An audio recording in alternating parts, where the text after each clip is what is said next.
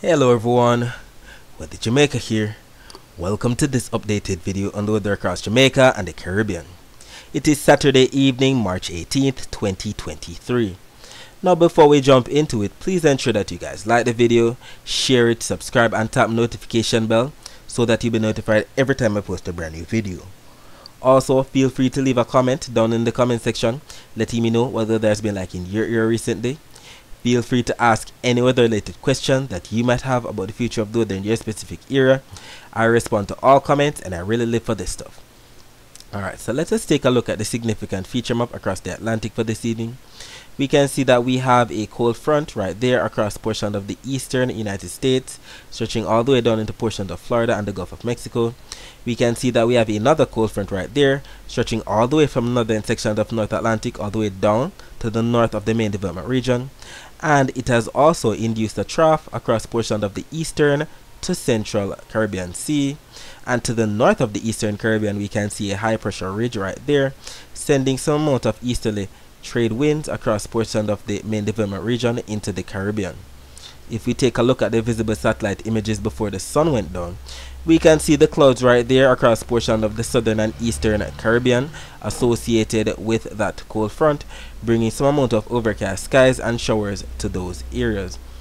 We can also see the clouds associated with that other cold front stretching all the way from northern section of North Atlantic all the way down and we can see the clouds associated with that trough that is has it has induced across portions of the eastern Caribbean, bringing some amount of overcast skies and showers to those areas as well. And if you actually take a look closer, we can see those clouds moving in the easterly trade winds, all courtesy of that high pressure ridge right there to the north of the eastern Caribbean, sending all of those clouds streaming all the way into portions of Jamaica with some amount of rainfall even as we speak right now, and that should continue into Sunday as well. We'll be talking more about the rest of the Caribbean's weather later on. Let's focus our attention on the prediction that was made for today's weather yesterday. According to yesterday's video, we stated that we would have received some amount of rainfall across sections of some southern and eastern parishes in Jamaica during the nighttime last night into the morning hours and we also stated that we would have received some rainfall across sections of northern Jamaica during the afternoon. And what ended up happening? A post was made on our Twitter page at 10:30 p.m. last night, Friday night, highlighting some amount of rainfall on the Doppler radar images coming to sections of sections of southern and eastern Jamaica right there. So sections of Clarendon, St. Catherine, maybe Kingston, St. Andrew, Portland, St. Thomas got in some of that rainfall last night. And then another post was made at 2.01 p.m. highlighting some clouds coming in from the southeast to affect sections of St. Thomas. St. Mary was getting some amount of rainfall in the afternoon as well. Trelawny, St. James and Hanover as well. Another post was made at 4.51 p.m. highlighting something similar. More clouds bringing some rainfall intersection of St. Catherine, Kingston, and St. Andrew, St. Thomas, Portland, St. James, and Hanover as well. We even had our followers commenting and confirming the rainfall that was received in those very spots. Cree stating, just got some drizzle but all clear now. Bay Cookies and Cream stating, rain in the 3 miles area. I'm now back in Portmore, no rain. Bevy Beauty stating light rain in Hellshire in Portmore. Even on our Instagram page, we had commenters confirming the rainfall. Tommy Lee Spartan Sparta fan stating, Waterhouse raining. Another person, First Lady Kefecha stating it's raining in Portmore. Sun for real stating intermittent rain in Clarendon. And we also had Thikiana stating Kingston it was raining like an hour ago but it stopped it's cold in Kingston. Moving on, we had Simone stating, Parts of Manchester leading to Spaldings had rain today. And we also had another um, commenter at this time, about 4.56 p.m., stating every now and then light rain in Edgewater, Portmore. Moving on, Steph Brissett stating Mobay wet. Or Shane Martin stating raining in St. Thomas. And if we actually take a look at the visible satellite images of Jamaica before the sun went down, we can see that yes, we indeed had that southeasterly flow of winds and clouds across the island. So all of those clouds associated with that now trough across the eastern Caribbean, still streaming into portions of southern and eastern Jamaica. And even before the sun went down, we still saw that we had some amount of clouds and rainfall across portions of some southern and eastern parishes, and this should continue into tonight. If you actually take a look at the infrared satellite images, we don't see much of the high level clouds and the colors that are associated with that but we do see some amount of sparkling white dots in some spots especially right there across eastern portions of the island or to the east of Jamaica in the late evening hours. If you actually take a look at the Doppler radar images right now we can see that the rainfall in the greens and yellows that represent moderate to heavy rainfall are right there where we just saw that rainfall on the satellite images associated with those clouds. So right there across portion of southern and eastern jamaica is where the rainfall is at this time. So we should be having more rainfall lingering across portions of southern jamaica tonight as the night progresses. If we actually take a look at where we actually had rain today according to the Caribbean and Institute Caribbean Institute of Meteorology and Hydrology website, the accumulated precipitation showed the rainfall across those various spots that we just mentioned, so southern and eastern Jamaica as well as portions of northern Jamaica during the afternoon. So specifically Hanover, St. James, St. Mary, Portland, St. Thomas, Kingston, St. Andrew, St. Catherine, Clarendon, Manchester, and possibly southern St. Elizabeth got in some amount of rainfall. If we actually take a look at the temperatures for tonight, we can see that we have 24 degrees Celsius in Kingston, 23 degrees Celsius in Montego Bay, and as usual, these temperatures should be getting lower as the night progresses. For tomorrow, we can see that Jamaica is not receiving any above normal or below normal temperatures. We're right there in the average temperature range for tomorrow. This map is showing 18Z on Sunday. That's actually 1 p.m. on Sunday on both the Euro and the GFS models. And we know that when we have consensus on both models, the chances of it actually happening are much higher. And what are the average temperatures for the month of March? About 87 degrees Fahrenheit. And when we look on the thermometer, that's about the equivalent of, let's say, 30 degrees Celsius. So that's what we will be receiving tomorrow in the low 30s for our temperatures. Taking a look at the dry air map, we can see, as seen by the keys at the bottom, the yellows indicate less dry air and that is what we're receiving right now across portions of Jamaica right there. Even some blues that indicate some moisture and that is associated are all due to the cloud cover that we've been having and all those moisture associated with that rainfall. The driest air can be seen right there in the reds and whites on the keys and that's located across portions of the Gulf of Mexico as well as that air right there off the coast of Africa if we actually take a look at the Saharan dust forecast for tomorrow, 2 p.m. on Sunday shows that Jamaica is in the clear. Majority of the dust is right there across portion of the main development region, with the darkest browns right there off the coast of Africa as well as across Africa. That's where majority of the dust is at this time.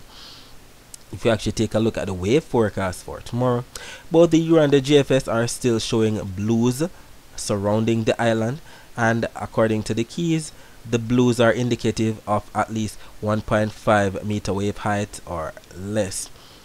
And that's due to the winds that we'll be receiving tomorrow. So we'll be receiving more of an east southeasterly or southeasterly kind of flow tomorrow. And the winds will be coming from the considering that they're coming from the east southeast we, we, we might still receive some amount of stray showers across portions of southern and eastern jamaica. And we know for a fact now that when we have those blues piling up on the north coast wherever the blues are piling up that's where we're gonna have the least amount of winds. And wherever we have that blue piling up that's where we have that air piling up that's where we have that buildup of clouds that can lead to some amount of afternoon convection and considering that we only have green surrounding the island we know that the greens represent anywhere from 10 to 20 knot wind so it's not going to be that windy tomorrow. Considering that we're going to be having that wind shear coming in more from the southwest or west southwest across the island on both the Euro and the GFS tomorrow there might be more of a bias for the rainfall across portions of northern Jamaica especially during the afternoon hours So especially those residents living on the north coast, maybe St. Ann, Trelawny, St. James, Hanover, if you have to wash tomorrow, try to get it done early. If you actually take a look at the precipitation forecast for tonight, actually, this map is showing 8 p.m. tonight. It's only a couple minutes away before 8 p.m. We can see some more blues across portions of southern and eastern Jamaica on the Euro which are indicative of rainfall, and we see something similar across the G on the GFS model. You know that when we have consensus on both models like this, the chances of it actually happening are much higher. So it makes sense that we're receiving some amount of isolated rainfall across those spots right now, just like what we saw on the Doppler radar images and the satellite images just now.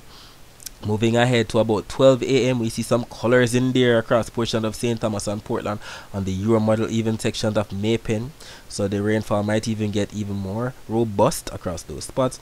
Not so robust on the GFS, but we do have consensus that we still have some blues that represent rainfall across those spots. Skipping ahead to about 4 a.m., we know that 5 a.m. Eastern Standard Time stands for 4 a.m. Jamaica time we can see that by that time we still have some amount of rainfall across eastern and central Jamaica on the Euro model.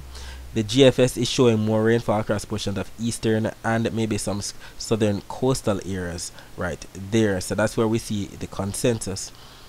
More than likely, by any time period after that in the late morning, the rains will be cooled down at that time, which will make way for sunshine which is why our next map that we're showing is about 3 p.m. Eastern Standard Time. That's actually 2 p.m. And what do we see? Those very areas that we mentioned where that air will be piling up, it's actually going to rain across portion of northern Jamaica during the afternoon. That's where we see all the darkest blues and the colors. We see more whites across the southern coastal areas. So all of those clouds and the air piling up coming in from the southeast or east southeast will be piling up across portion of northern Jamaica during the afternoon to bring some afternoon convection to those spots that time. This map is showing 2 p.m. on Sunday on both the Euro and the GFS. Oh, and we know that when we have consensus like this, the chances of it actually happening are much higher. Taking a look at the accumulated precipitation forecast, we know that the Euro model is usually more robust than the GFS. Either way, both maps are showing the rainfall that we'll be receiving from now up until 3Z on Monday. That's actually all the rainfall that we'll be receiving for the next 24 hours from now up until 10 p.m. on Sunday. We can see up to an inch of rainfall across portions of eastern Jamaica, less than an inch. But we can across the rest of the island, but we can see rainfall especially across portions of northern Jamaica. So that's where we have the consensus. We can even see some purples up in there up into 3 inches on the euro. The chances of that actually happening are slim considering that GFS disagrees. We usually like the consensus that that's where we would have the certainty of the rainfall. Either way, we see the reds across portions of eastern Jamaica, St. Thomas and Portland on both maps. I know that when we have consensus like this, the chances of it actually happening are much higher. So, we're actually grateful that we've been receiving all of this rainfall in the month of March thus far, especially considering that it's still winter. Winter is usually one of the driest times in Jamaica. So we usually receive up to 87.15 of an inch of, um, of millimeters of rainfall. And we've been receiving some amount of rainfall, even surpassing that across portion of the island, considering that March is one of the driest months of the year. So we are indeed grateful for that. Alright, so that's it for the forecast across Jamaica. Let's talk about the rest of the Caribbean. So as stated, we can see a lot of clouds coming into portions of the Gulf of Mexico associated with that cold front. Portions of Mexico, Belize, Honduras, Guatemala getting in on some amount of rainfall right there.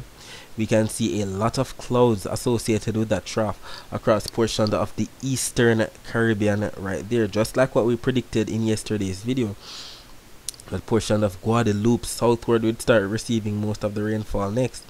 So Guadeloupe, Dominica, Martinique, St. Lucia getting in on some of that rainfall as well. Even portion of Barbados and those areas to the west of Barbados, St. Lucia, St. Vincent, did receive some amount of rainfall then.